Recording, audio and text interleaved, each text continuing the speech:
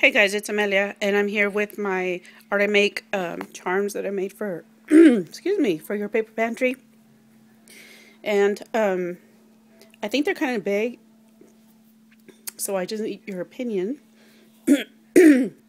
so this is kind of, this is uh, doing the same thing as the Artie cakes. so this is my first one.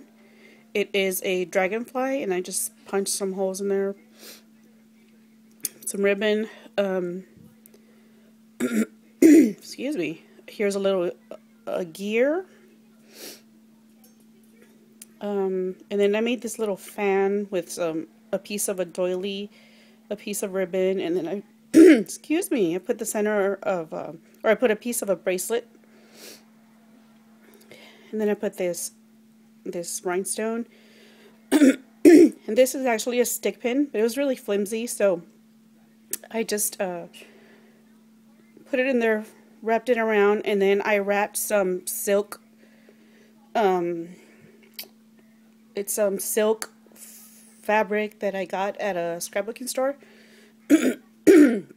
Excuse me. And they, they dye them there with natural things. Anyway, here's the first one. But my concern is how tall this thing is. Or how long it is. Because it is about four and a half, about four inches. My next one is this one right here. And I use a piece of the leather belt that I had gotten and to use for, uh, sorry, to use for the Your Paper Pantry's um, summer summer theme swap. so I used the belt. I put some burlap, some fiber, some tulle, a little game piece, um, a ribbon, some pearls in the center, the little, a little yo-yo, um, a little boot, and some more of that um, that silk fiber that I got at the craft store, and then this little pearl, and then this thing. it is actually a frame, a piece of a camera, a pearl, burlap, a butterfly sticker, a little um, little brad, and I put some more burlap right there. So this one is really long. This one is Okay, and it turned.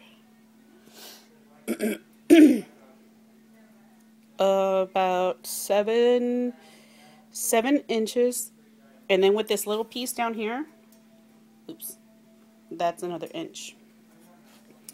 And then my last piece is this one here, and I use an industrial chic um, piece of metal. I put some tulle up here. I use another piece of the doily and one of the rosettes. And I put, uh, I used that same ribbon with the pearls and I put an earring. Then I used um, a piece of a necklace that I busted and used the little dragonfly. And then I put a little, a little glass vial with some more of that um, that silk ribbon and then a little bit of bling. And this one, the longest piece is about five and a half inches. So the ribbon goes up to like four and a half. Anyway, let me know if you think these are way too big or way too much. Um, I was so excited to make them that I just grab stuff and put it together. So let me know what you think. Thanks.